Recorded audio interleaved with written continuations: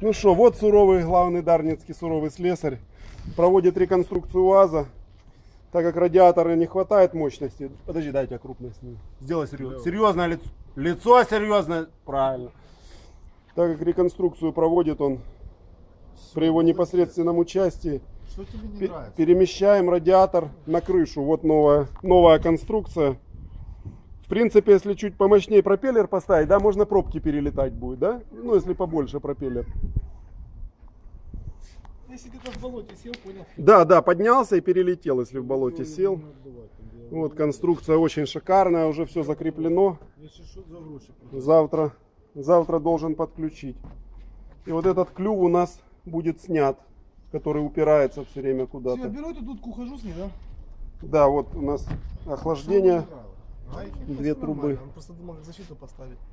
Какую защиту? Ну еще сверху, чтобы козырек закрывал. За деньги поставлю защиту.